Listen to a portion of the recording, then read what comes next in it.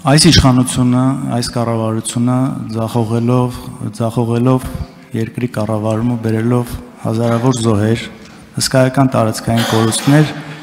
անընդհատ թմկահարում է եւ խոսում է ժողովրդավարությունից։ Ժողովրդավարությունն իհարկե լավ է եւ պետք է ձգտել դրան, հատկապես այսօր երկար ելույթներ եղան արդարադատության հետ կապված։ Հարցը հետեւյալում է, այ այն երկրները, որոնց փորձում եք ձգտում եք հասնել ժողովրդավար երկրները, ուսումնասիրել եք օրինակ արդյոք քանի հոգի է կալանավորված Facebook-յան գրառման համար, քանի հոգի է հետապնդվում այլակարծության համար։ Եթե սա լիներ ընդհանուր մոտեցում, միգուցե լիներ հասկանալի, բայց հստակ տեսնում ենք, որ այստեղ կա տարբերակված մոտեցում։ Այդ ամենը աշխատում է, երբ որ մարդ խոսում է կառավարության կամ իշխանության դեմ։ Իսկ երբ հակառակն է լինում, իսկ կարծում եմ այստեղ ոչ մեկ չի երկի, որ հակառակը լինում է ու շատ շատ է լինում, շատ օրինակներ կան, դրանք ընթաց չեն ունենում գրեթե միշտ եզակի դեպքերում գուցե ձևական ինչ որ գործեր արնում, որ այնուհետև կոծկվում անցում գնում ոչ մեկ դրա մասին չի էլ իմանում։ Այ այս հարցի պատասխանն եմ ուզում ստանալ այն ժողովրդավարությունը, որին ձգտում եք, այն երկրները, որոնք օրինակ են ձեր համար ժողովրդավարության, Կոնկրետ քանի հոգի կա կալանավորված, կալանավորված, որովհետև գործի ընթաց կարող է լինել, դա մի բան է, դուգամ կարող է լինել, դա ուրիշ բան է, այստեղ այնպես չէ, որ ամեն մի Facebook-ի գրառման կամ բանի հետ համաձայնությունս եմ հայտնում, բայց կոնկրետ այս մոլուցքը մարդկանց կալանավորելու, կալանքի տակ բայելու, այլակառուցության, այլախոհության համար ուսումնասիրել եք արդյոք թե ինչ վիճակում են այն երկրները, որին ձգտում եք հասնել։ Բանկոչյան, իսկ հարցը ում է ուղղված։ Միացրեք բարձրախոս։ Հարցն ուղված է կառավարությանը, թող իրենք որոշեն ով է պատասխանում։ Հարցին կպատասխանի Հայաստանի Հանրապետության վարչապետ Նիկոլ Փաշինյանը։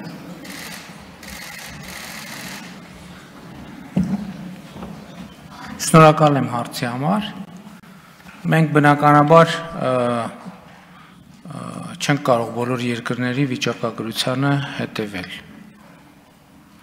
բայց մենք կարող ենք համեմատել Հայաստանի Հանրապետության նախկին շրջանի վիճակագրության հետ եւ կարող ենք ասել օրինակ, որ քաղաքական գործիչները պատյեզներում չեն սպանվում, ժողովրդի վրա չեն կրակում, ընտրությունները չեն կեղծում, սրա նրա հետ բիզնեսում փայ չեն մտնում, Եռաբլուրի հողամասերը չեն սեփականաշնորում։ Ինչ վերաբերվում է միջազգային վիճակագրությանը, մենք հետևում ենք միջազգային կազմակերպությունների զեկույցներին, ովքեր արդեն 5 տարի շարունակաբար արձանագրում են Հայաստանի առաջընթացը ժողովրդավարության ոլորտում։ Համարում ենք արդյոք, որ մեր ժողովրդավարությունը անթերի է եւ մենք հասել ենք մեր երազած ժողովրդավարությանը, ոչ, այդպես չենք համարում եւ այսօր էլ ես բյուջեի քննարկման եզրափակիչ ելույթի ժամանակ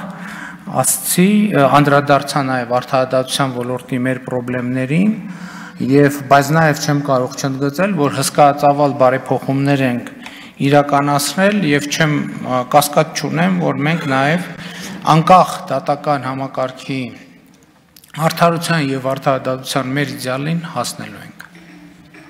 Արձագանք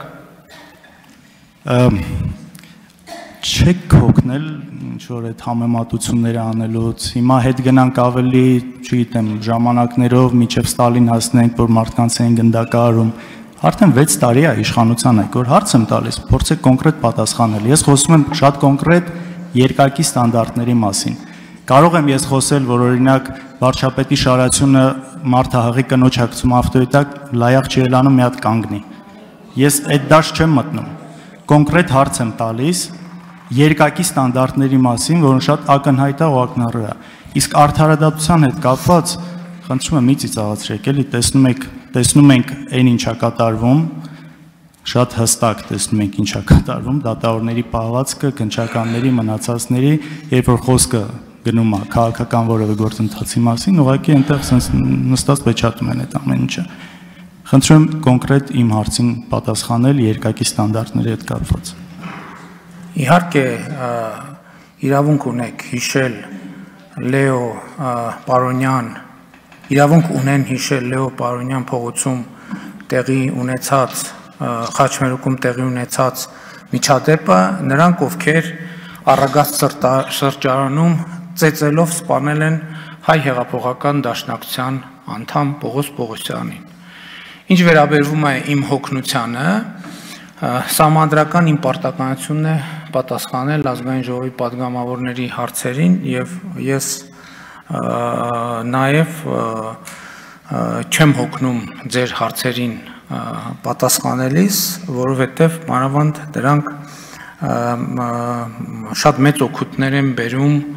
եւ որպես ընդհանրապես խորհրդարանական հարթակը օգտագործելը հարցոպատասխանը շատ օգտակար է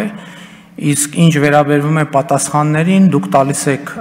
ձեր հարցը, ես տալիս եմ իմ պատասխանը։ Ինչքանով է դա ձեզ գոհացնում, դա ձեր գնահատականն է, ես տալիս եմ այն պատասխանը, որը դուք պետք է ընդունեք իգիտություն, ինչպես ես ձեր հարցն եմ ընդունում իգիտություն։ Շնորհակալություն։